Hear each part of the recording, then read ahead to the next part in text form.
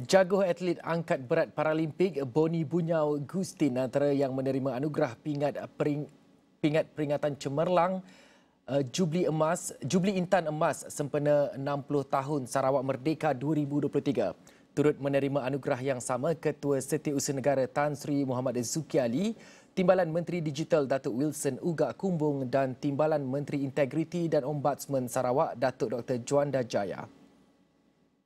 Pernah menjadi setiausaha persekutuan di Sarawak lebih kurang uh, satu tahun dan bagi saya penganugerah ini merupakan satu petrafan dan saya berjanjilah ini merupakan sumbangan dan saya berharap selepas ini uh, ia akan menjadi uh, dorongan kepada pegawai muda untuk terus memberikan sumbangan lah, uh, terutama sekali pada kerajaan negeri Sarawak. Penyampaian pingat disempurnakan oleh Premier Datuk Patinggi Tan Sri Abang Johari Tun Openg di bangunan Dewan Undangan Negeri Dun Sarawak. Seramai 184 individu secara keseluruhan turut menerima anugerah pingat peringatan Jubli Intan Perak. Antaranya termasuklah Peguam Besar Negeri Datuk Safri Ali, Timbalan Setiausaha Kerajaan Negeri Datuk He Chang Ki dan Mufti Sarawak Sahibul Samahah Datuk Kipli Yasin dan Pesuruhjaya Polis Sarawak Datuk Manca Atta. Pengurniaan pingat sempena Jubli Intan ini bermula pada 22 Julai tahun lalu dan diberikan secara berperingkat.